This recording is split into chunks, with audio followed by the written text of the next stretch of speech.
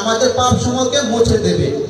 এই জন্য তাকুয়া সম্পর্কে আমরা জানি যে মায়েশা রাজিয়াল্লাহ তাআলা থেকে বর্ণিত যে মায়েশা উম্মুল মুমিনী মায়েশা বলেন, নাবী আলাইহি সাল্লাম যখনই কোনো খুতবা অথবা বিয়ের খুতবা, জুমার খুতবা বা যখন কোনো ওয়াজ, নসিহত বা বক্তব্য প্রদান করতেন, তখন তাকওয়ার আয়াতগুলো দিয়ে শুরু করতেন।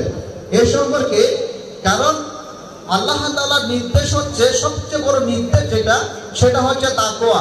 এ সম্পর্কে আল্লাহ তাআলা বলেন, ইয়া আইয়ুহাল্লাযীনা আমানু ইত্তাকুল্লাহা হাক্কা তুকাতিহি ওয়া লা তামুতুন্না ইল্লা আনতুম মুসলিমুন। হে ঈমানদারগণ, তোমরা সে এক আল্লাহকে ভয় করো, যেভাবে আল্লাহকে ভয় করার মতো, এবং প্রকৃতপক্ষে মুসলমান না হয়ে মৃত্যুবরণ করো না। এই তাকুয়ার নির্দেশটা হচ্ছে আল্লাহ তাআলা শুধু আমাদের জন্য না। বরং পৃথিবীতে আমাদের পূর্বে যত জাতি ছিল তাদের সবাইকে আল্লাহর যে হুকুম বা নির্দেশ, মহান উপদেশটা হচ্ছে তাকুয়া